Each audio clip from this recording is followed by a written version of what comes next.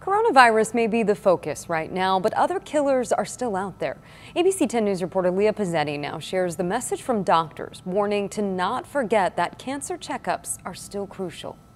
There definitely is a concern. While the current focus is on a virus, another killer is still out there. We know that the pandemic didn't make cancer stay at home we know that cancer continues despite the pandemic. Dr. Marilyn Norton at Sharp Chula Vista says one of the best defenses against cancer is catching it early. And we know that if patients get found at early stages, the chances of them dying from that cancer is much less. The problem, those life saving screenings have plummeted. Sharp Chula Vista saw an 87% decrease in mammograms in April and May of this year compared to last. They did put screenings on hold at the beginning of the pandemic, but those services have been back since May, and still, both nationally and here locally, less people are coming in for screenings. Dr. Norton says people might not know they've returned, and they may be afraid of going to a hospital right now, but the difference is now we understand the virus so they can protect against it.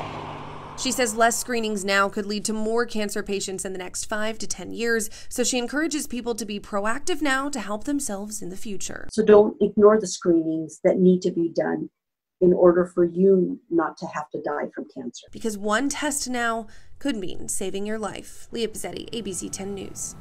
Dr. Norton says the three most common screening tests they do are mammograms for breast cancer, colonoscopies for colon cancer, and pap smears for cervical cancer. All of those services are available right now for SHARP patients.